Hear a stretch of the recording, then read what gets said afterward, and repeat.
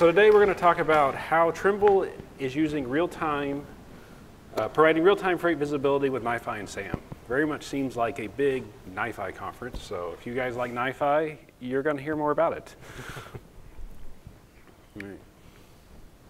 Oh, that one.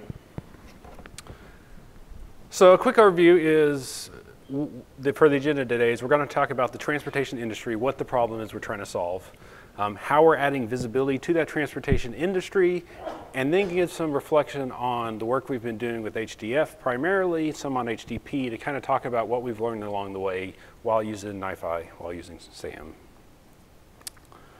Uh, we, we do have a safe harbor notice, so basically Trimble makes Trimble policy is, you know, we want to be able to talk about some of the stuff we're doing that's not generally available, so if you're a customer looking to buy software, we may talk about stuff that's future release. Um, uh, so a quick overview, I am Donnie Wheat. I'm the Senior Big Data Architect with TMW, which is a company within Trimble. Uh, been working there for 13 years on optimization, business intelligence, data warehousing, data integration, and the big data solutions. I'm Krishna Potluri, and I'm a Big Data Architect at TMW Systems. So Trimble itself is a very large company that it seems like almost no one's heard about. So quick overview, you know, their motto is transforming the way the world works. Uh, they're heavy into agriculture, into construction. Um, they're the brains that take these Caterpillar giant tractors and are able to plant seeds with very specific GPS locations with no driver driving. Uh, and then our division is transportation. Uh, so very much focused on freight moving throughout the country and across the world. So what is the transportation industry? We focus heavily on the US. Every country is different. Uh, we've got some operations in Australia, some across Europe, but our concentration is mainly on the US. Um, so a little bit of terminology along the way too. Uh, so as part of TMW, our customers are carriers. Uh, these are the people who you see the trucks on the road, they're moving freight, uh, they have drivers, um, they're, they're moving goods across the countries. The people that they're serving are shippers. These are the people who own the freight that's in the truck. Uh, just out of curiosity, anyone here in the transportation industry? Got about four or five, okay. So you guys are probably familiar with a little bit of this. Um, so what we do is our traditional customer is that trucking company. Well, how important are trucks? Well, they move 70% of freight across the entire country. So these are ATA numbers. Um, even when you start to think about things like trains, um, well, yes, everyone sees these giant trains. It seems like every year they add four cars to it to where we sit longer at the train crossing. Um, but what that does is if you look at the freight on a train, you'll see a lot of bulk stuff. This is coal, this is food, this is the stuff that gets moved from a, sh a shipping yard directly to a consumer. But then you'll see a bunch of trailers. Well, those trailers actually create two trucks in the equation because someone's got to pick up that truck, trailer, and deliver it to the train. And then once it reaches the other side, it generally has to go on another truck. Uh, so trucks are heavily involved in all parts of this. Um, the big thing we've seen is shippers want to know where their goods are. You know, we're all very used to, I've been using Uber a lot here. You pull up your phone, you say, I want an Uber to show up. You sit there, you see the driver's face, you see the car they're in, the license plate, where they are, and the fact they'll be here in five minutes, right? That's what shippers want. Uh, shippers want that visibility to be real time, to know not only where they'll be right now, where they are right now, but where they're going, what time they'll be there. Um, it's a little complex. Um, there's a lot of regulations around drivers. We don't want drivers driving 23 hours a day. I think everyone agrees upon that. Um, but there's a lot of complexities that say well, if a driver's moving freight, he has to stop for 30 minutes breaks. Every few days, he has to stop in, uh, for a long-term break. Every night, he needs to get a little bit of sleep overnight. So there's various complex rules in all the countries about how this freight moves and when it'll actually be delivered. And so what we're trying to do is we're trying to factor all that in. We want to know what the driver's doing. We want to know what the weather is. We want to know what traffic conditions are and give as real-time an estimate as we can to the shipper about where their goods are and where they'll be. As part of that, we purchased a company called 10-4, who's now part of the Trimble family, that focuses heavily on giving that shipper that visibility of here's where your freight is, uh, and here's where it's going. Um, a lot of trucking is still dependent on old technologies. There's still a lot of customer interface, which is great, it's good to know your customer, of calling up and putting in an order manually. Uh, a lot of companies use EDI. EDI was developed in the 1980s. It's an electronic data format where they're sending messages back and forth. When we talk to shippers in terms of visibility, what they normally see is we know it picked up, we know when it delivered, but we have no idea where it is along the route. Additionally, trucking companies, these carriers are focused on trucking. Uh, they're not big IT staffs, they're usually mom and pops. 93% of trucking companies are 10 or less trucks. So they're very small companies we're dealing with. So when we call them up and we want to talk software, they're thinking about trucks. So from a shipper's perspective, everything's getting more complicated on their side. So they've got freight coming from overseas, they've got freight coming from the US. There's a lot of just-in-time stuff where, particularly like the auto industry, they want to make sure that they don't have a bunch of metal just sitting around. They have this goods flowing in and getting to the point of consumption when it needs to be there. Um, so, so what does this traditionally look like? Again, a lot of manual customer service. So people are talking to each other, people are calling each other up. Uh, drivers' main point of contact has been primarily calling them up on a phone recently. Um, more and more they're getting into where they're entering stuff via um, in-cab units, um, but there's still a lot of manual input nothing proactive. So in the past, carriers have bought software to where they can see when their trucks are going to arrive. Sometimes uh, they may not have the software, uh, but it's been mainly focused on them seeing where it is. More advanced carriers will provide shippers the visibility that says, "Hey, log into this portal, see where it is," but it's not proactive. It's not. It, it's not that real-time solution they're looking for. Um, and lots of stale data. When we first did this integration and provided data through our 10-4 interface, they said this was the best data they've ever seen. They've never seen pinging every hour, every five minutes. Um, so we're able to start providing them the type visibility they want of where their truck is and put it on a breadcrumb for them to where they can see it. All right. So where did we start? Um, so actually when I started in trucking or transportation software 10 years ago, it was interesting because trucks ping maybe one time an hour. So as of 10 years ago, you might know where truck is, assuming he's not in a part where cell phone coverage doesn't work or he has some trouble with his satellite reception. Um, but now we're to the point where we're regularly seeing every three to five check calls, which is position events, every hour to see where the truck is. Um, we're, we're looking at providing them geofencing. So it's important to know when a truck is at the customer. Now, frequently, you might get to a customer and you might have to wait in line for a position to drop the freight. Um, with the newer tools, you can actually see, all right, he's at the customer, he's just sitting waiting, he's not docked. Um, he, he, it, it, it's, it's in process, but it's not there. That dynamic ETA, so it's based upon um, what your hours are, what you're doing, when you'll be there at a specific time with accuracy. Uh, and the models get complex. If you're going across US and Canada, you're following two different sets of rules, and both rules may apply at different times.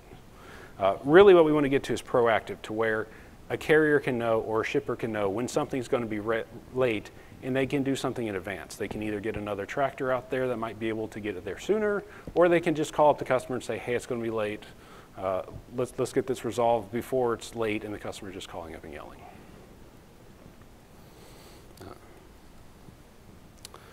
So the technical requirements. So, so what we're looking at is, you know, a lot of the data we deal with comes from a database. Um, our customers have their, their transportation system in their houses.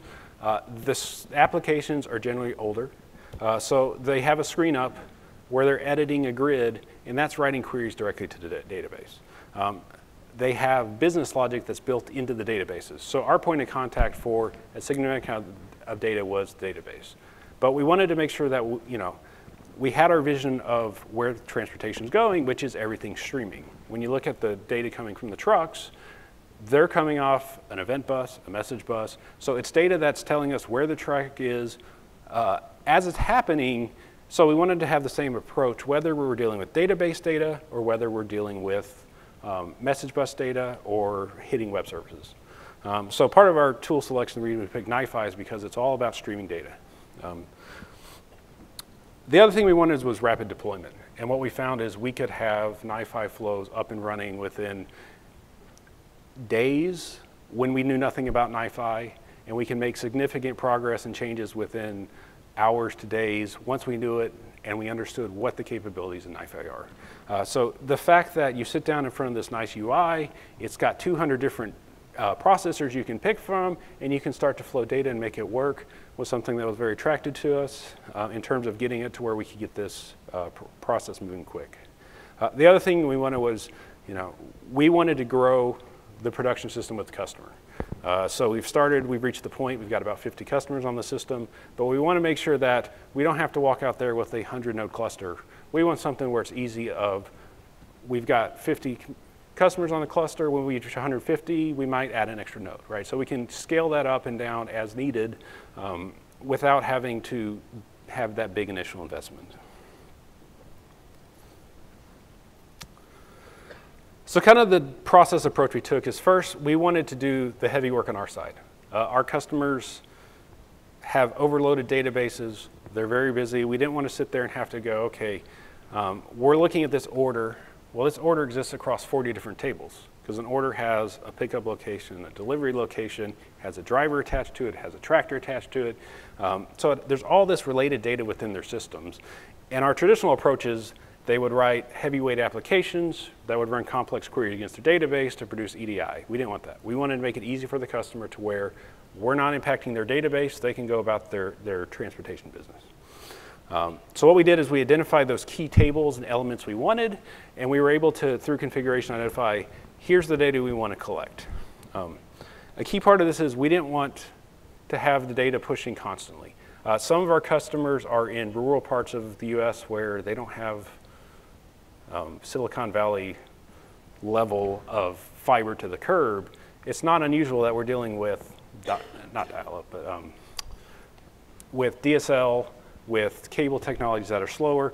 And then on our side, we don't want to process stuff that we've already processed or there's uh, no changes to. Uh, so we had to be aware of what data changes. We did some profiling of our customers' data. Our average customer touches about 3 to 5% of their data per day. Because uh, the reality is in the life cycle, you know, an order comes into the system, they work it, they, they get a truck on it, they complete the order, they bill the order, and then they're done with that until they might do some accounting or some other reporting later. Uh, but they're not generally changing a lot of data. Um, so and the other thing we wanted to do is we wanted to give the customer the power to say, how frequently do you want these updates? You know, if you're going to send us your data, you want to do it every hour, that's great. Every 15 minutes, great. The standard we're doing is every 15 minutes until we get to more streaming data, which obviously we'll get as it comes. Um, so what we do then is once we have the fact we know maybe just a stop change on an order, we're able to then on our side do lookups, do data correlation, and do, do data enrichment to start to understand what that order truly is. Uh, the other key for us was we wanted zero touch for the clients. Um, already in the first four months of its life cycle, we've added new features that required new data from new tables and new columns. Uh, so we wanted to make sure that even though we've given them a very simple install that takes 15 minutes, we didn't want to have to call them up and say, we need more data um, to make this work. Can we run that installer again?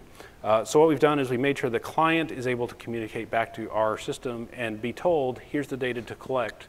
Uh, so we can add new elements without having to involve installation.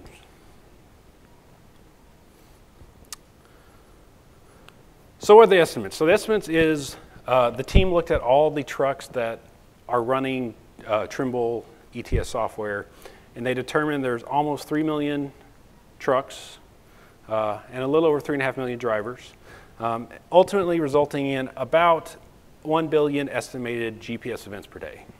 Um, so if we were tracking every trucking, every truck that, that was being touched by a, a Trimble software, it's a tremendous amount of trucks every day. Um, so again, starting small. Uh, these numbers were taken about a month ago when we were about 30 customers. Uh, we're currently tracking about 100,000 trucks, uh, a little short of a million GPS events per day. Um, and we kind of have two approaches. There is, we need to look up data. So when you first uh, come and install the software and work with us, we load a good amount of your data. We say, we need all the order details, we need all this stuff so we can look it up later. After that, we take the approach of, we're really just looking for those check calls and any data updates so that we can then adjust our view of that order and then uh, tell people about what's going on with the order. So if all goes well and we continue onboarding several customers a week, we could have as many as a million and a half trucks being monitored by the end of this year. Is our high projection. We'll probably be somewhere in the middle. Um, it would be a very high success if we had a half million trucks um, being tracked by the end of this year. So what are we running? We started with a three node NiFi cluster and four HDP machines. Uh, very small cluster, maybe the smallest in the room. Um, but for the most part, since we're very careful about the data going into the system and coming from the customer, we're only seeing about 3 million records updated per day. Um, this is for the data as we're doing that ongoing. There's a slight difference in when we onboard them, we see an initial glut of data. So it looks like about, on average, 100 million records saved. Um, sorry, 9 million records saved per day. Um, for that initial data set just so we can build an understanding of their data and we don't have to communicate that data every time. Um, so what we found is on average, once a check call comes out of our Kafka cluster and needs to be processed, it's taking about just short of 700 milliseconds to process that check call. So that is determining what order they on, determine the stops, look up all the detail, enrich the data, format into a message to send it to uh, 10-4 for visibility, and then it's out the door. Um, most of that time is actually consumed by SQL Server. Uh, what we found is we have two problems with our SQL Server. First is we're not using any sort of caching engine, so we're just constantly hammering it. Um, that was just to get out the door. We're looking at adding caching to replace that. The other issue we have is our SQL Server was determined to be co-located in a different data center. So just moving to the right data center, putting cache in place, should take out another two to 300 milliseconds worth of time. Um, with NiFi, the one thing we did that 47 millisecond Phoenix save on average is we didn't want to write any code, so we have JSON objects come in and it gets upserted in Phoenix. We don't write any code whatsoever. It's just a single NiFi flow. It's about 10 components uh, that will take in the JSON message, determine what table it belongs to, do a metadata lookup on Phoenix to determine what the columns are, do a mapping to create the upsert, and, and save to Phoenix. That takes about 47 milliseconds per record. Um, so it's very efficient in terms of we've not had to write any code. We add new tables. All we update is metadata in, in our, our target DDL. And that data is saved into our system, and we don't have to touch it, and it takes 47 milliseconds per record.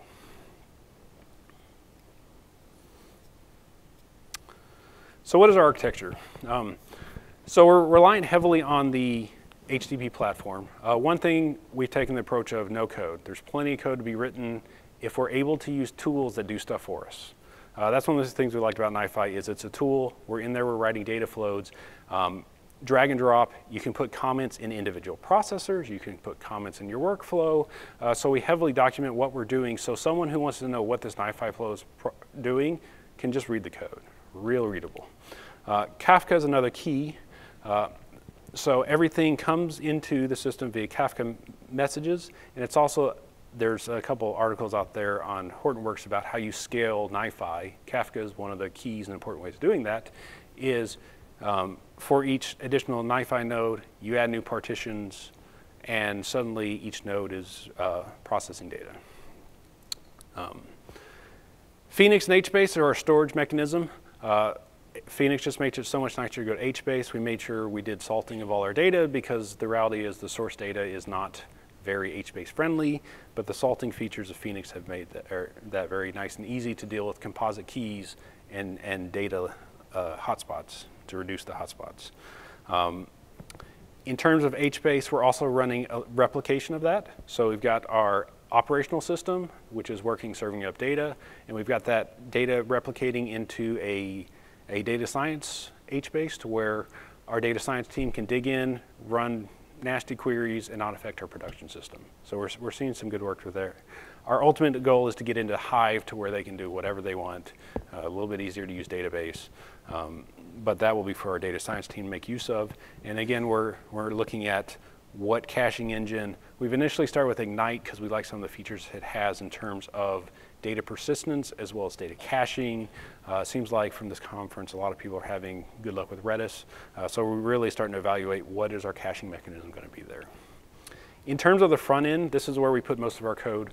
So we've got our services that are able to manage configuration and inflow of data and drop it directly into the NiFi queue. Um, so th that's something that also ties into our Trimble identity. Um, so this is basically, we are able to track which of our customers this data belongs to. And again, our customer is generally a, a carrier that has trucks, but when we're talking with 10-4, it's a shipper, and we want to make sure that we see this visibility across the whole system. We'll kind of get into our, our MDM approaches a little bit later.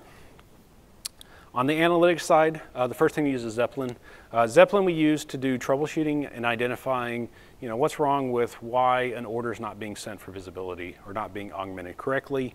And really what that does is it allows the developers to define, you know, when we have to troubleshoot data and talk with a carrier or shipper about why the data looks incorrect or it's not being sent. Uh, this lets us build out what the report should look like so that we can then hand it off to the UI team and the data services team to actually build the full UI for people to interact with.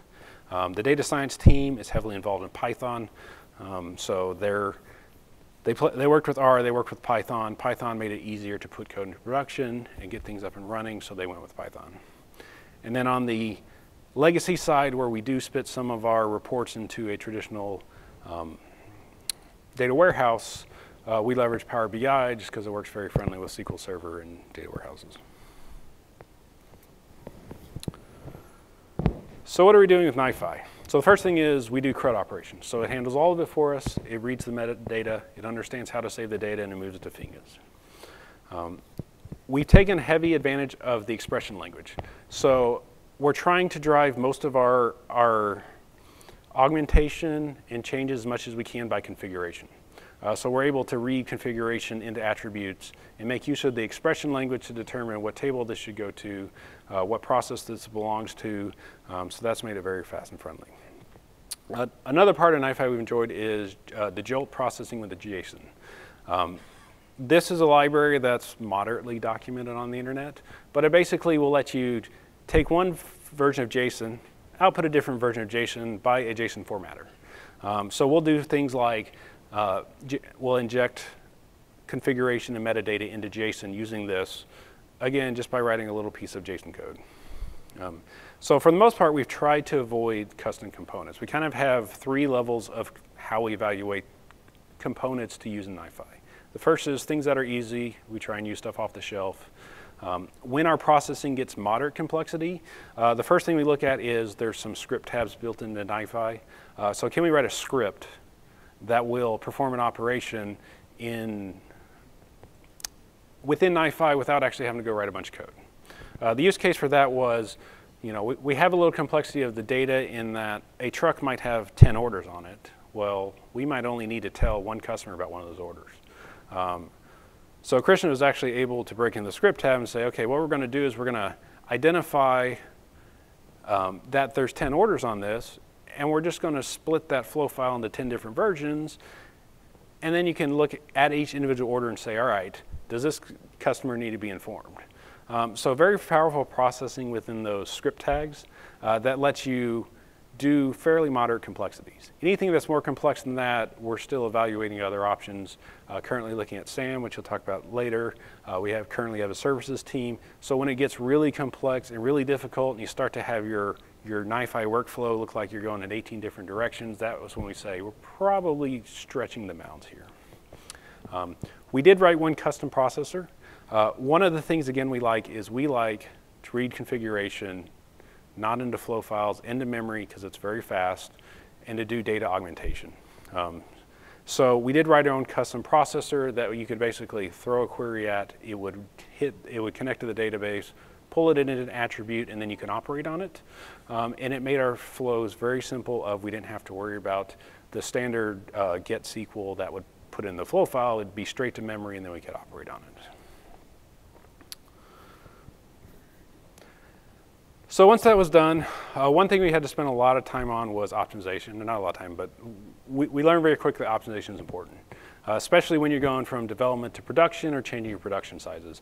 There's all kinds of controls within NiFi about how many concurrent processes you want and how you want to distribute that across the cluster. Um, so what we learned is like everyone loves to do, we got in there and said, all right, we can turn up concurrency. Let's turn it way high, and it did nothing.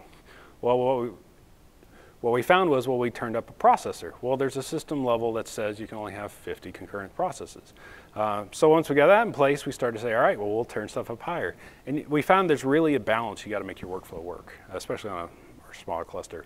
Because simple things like we would say, all right, we're trying to save to NiFi, or we're trying to save with NiFi to Phoenix, uh, have 40 threads saving to Phoenix. Well, our database connection pool is only 10 threads. So suddenly we had 10 people competing for 40 and things are blowing up. We're like, well, that's not very smart. All right, so we figured that out. So we went there and said, all right, now we've got plenty of database connections. Let's crank it up to see if we can get stuff into Phoenix faster. Well, it got slower. All right, why did it get slower? Well, what we found out was there's contention, right? So we've got one resource of Phoenix. It's four machines. It's working real hard. But you're suddenly telling one part of your NiFi flow, go in there and interrogate Phoenix, figure out what this table looks like, and down the road, you've got another part saying insert into Phoenix. So Phoenix is now very busy serving 80 different threads trying to do multiple things. Um, so there really is that balance you've got to learn and figure out, you know, in terms of hitting your resources, you can hit stuff too hard. It's not just turn it up and it all works like magic. It really is a balance.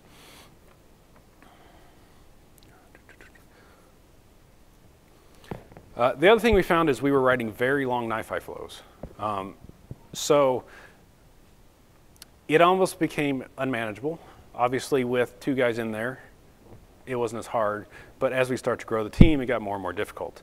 Uh, so what we determined is we really need to take advantage of more of a microservice architecture. We, we say, let's write very specific NiFi flows that do a very specific job and then throw the ball down to any consumers who care. Um, so really, most of our NiFi micro apps are bounded by Kafka at the start, Kafka at the end, and then that allows us to determine whether the consumer of that is one flow, is it 10 different flows? It gives us the flexibility to control who's looking at the data without having to have forks that go in eight different directions and this unmanageability of a giant NiFi flow. Uh, we were still using process groups, so you know we would take one set of 20 processors, put them in one group, but it still just kept spidering out of control. Uh, so what we're really moving towards is having simple flows with Kafka. We're looking forward to some of the Kafka enhancements that are coming um, to really understand how we're using Kafka and, and, what effect this is having there. But this has just made development easier. Um, so. so in terms of the other parts of the HDF application we're looking at, uh, Kafka's big. Uh, schema registry, uh, we did an initial proof of concept trying to see if we could use schema registry to flow JSON directly into Phoenix. We had some issues in terms of some of the processors for record-oriented processing weren't exactly there at the time. This was an older version. Um, but there's a lot of stuff that's come out on record-oriented processing where you're using uh, schema registry uh, to make sure that you're handling your metadata about your data. And we're looking to get back to that and see if we can really proof that out. And then uh, we've also looked at SAM. Uh, Krishna will talk in a minute about kind of what we found from working with SAM. In terms of HDP, heavy Phoenix, heavy HBase. Um, big thing we learned is it's still HBase under the covers, especially with our cluster being a little smaller. Um, so we had to make sure that we really looked at our queries to make sure that we're hitting indexes. If we need to add secondary indexes, we did so. Um, make sure that we had things uh, sequenced properly. So spent a lot of time tuning our Phoenix tables and our HBase to understand how that works. Um, and then finally, we're looking at you know how we move that off into Hive to where we can work more with the data science team. Um, so our one custom processor again was that we, we wanted to read JDBC results set straight into memory. Uh, that's actually very much sped up our time to market and also our processing power. So in terms of third party, our biggest thing was our data collector. Um, really need to be able to make sure that we are minimizing customer impact and controlling configuration. I touched a lot on this earlier. Um, but the other thing is our key integration with Trimble Identity. Um, everyone's already got 8,000 passwords. I know I use a password manager and it's shocking how many passwords you had. So we wanted to make sure that when we're dealing with our customers, we say just log in with your existing Trimble credentials and it'll be okay. Um, so that's used for authorization both for them to go and configure the system and also for um, sending a data so that we can tag the data as it flows into the system. In terms of deployment model, uh, we are purely Azure, so we're in the cloud both for development and production. Uh, we use CloudBreak for deployment. Uh, the one thing we found with CloudBreak is that is the latest versions are spectacular. We actually did a mixed deployment to where we deployed an HDP system and we put HDF on top of it. So NiFi went in. It's all in the same Ambari. And this is the time when Hortonworks is saying that's coming later. We already had it in production. Um, so we've, we've seen a lot of good improvements there as, as CloudBreak has, has grown. Uh, finally, on the services side, we're using microservices, um, Dockerized containers, uh, ESBs, and also an identity server to make sure that we can identify who it is and make sure no one's flooding the system. We get reports on API uses and, and can control the access to API from various customers in case there is a DDoS or something. Turn over Krishna. All right. So before we talk about reflections, I just want to know how many of you guys are using Stream Analytics Manager? All right, couple hands. Good.